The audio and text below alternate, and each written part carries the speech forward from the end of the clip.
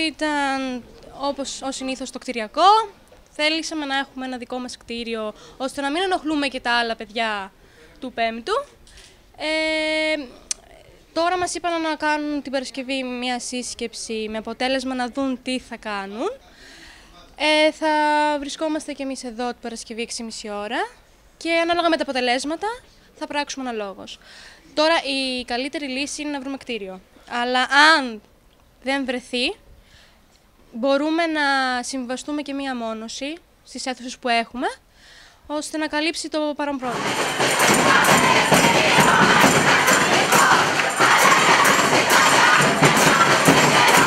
Δεν κινούμαστε εναντίον του, του πέμπτου. Είμαστε σε συνεργασία και ο σκοπός είναι ένας. Να βρεθεί λύση στο πρόβλημα που έχουμε και να είμαστε και καλά και το μουσικό αλλά και το πέμπτο. Δεν επιδιώκουμε κάτι αρνητικό για το πέμπτο.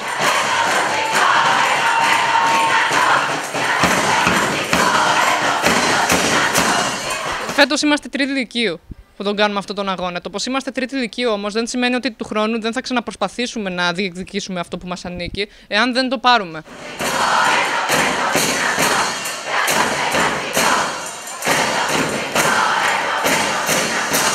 πάντα από μικρή θυμάμαι ότι μας λέγεται μπράβο στο μουσικό για τις καταπληκτικές συναυλίες που έδωσε αυτό το χρόνο. Ποτέ όμως δεν έχετε δει τι συμβαίνει πίσω από την κουρτίνα.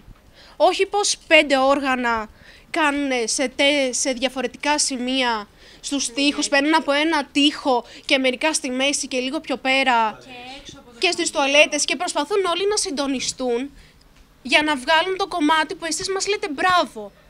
Άμα είχαμε οτιδήποτε, κάτι να καλυτερεύσουμε την κατάσταση, θα είχαμε και καλύτερο ακόμα αποτέλεσμα.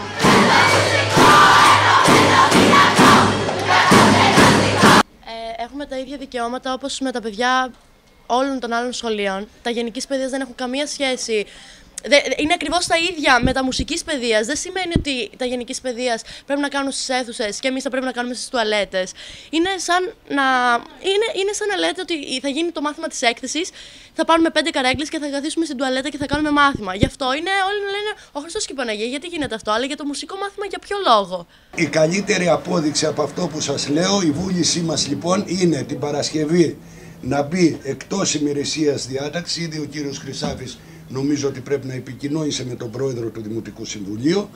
Θα καλέσουμε λοιπόν και τους αυτοί που μας κυβερνάν να φέρουν το χρήμα και είμαστε εδώ. Προχωράμε. Σε πόσο χρονικό διάστημα; Είπαμε την Παρασκευή, κάνουμε το Δημοτικό Συμβούλιο.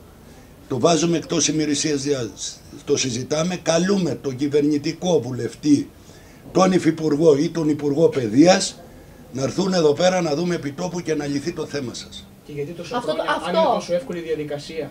Αυτό. Και δεν μιλάω για τις προηγούμενες ε, δημοτικέ αρχές, γιατί είναι, που είναι αρκετά χρόνια. Γιατί τόσο χρόνια που είναι τόσο εύκολη η διαδικασία δεν πραγματοποιούνται. Παιδιά, ακούστε να Δεν λέω προηγείται, προηγείται πάντοτε το σχολείο, ε, η παιδεία προηγείται όλων των άλλων. Αλλά εκεί απάνω επ' αυτού δεν θα απολογηθώ αυτή τη στιγμή, αλλά καθώς καταλαβαίνετε ότι το νησί μας έχει πληγεί επανειλημμένος κάθε χρόνο όλο και κάτι συμβαίνει θεομηνίες, μεταναστευτικό, σεισμούς, καταποντισμούς. Ένα ηφαίστειο μόνο δεν μας ήρθε, ομιγέννητο. Λοιπόν, ε, πάμε λίγο πίσω. Αυτό ε, οφείλω να το παραδεχτώ. Σας παρακαλώ λοιπόν προσωπικά εγώ, προσωπική μου τέτοια, να επιστρέψετε στις τάξεις. Το βλέπουμε την Παρασκευή. Δώστε μια προθεσμία, δώστε μας μια προθεσμία. Εδώ πέρα αναλαμβάνει και ο κύριος Χρυσάφης ως εκπρόσωπος Σύλλογου Γονέων και Κιδεμόνων και να είστε σίγουροι ότι και εγώ προσωπικά θα το υποστηρίξω όπως το υποστηρίζει και ο Δήμαρχος. Και είπαν ότι θα δώσουν χρήματα ώστε να δημιουργηθεί ένα μουσικό σχολείο.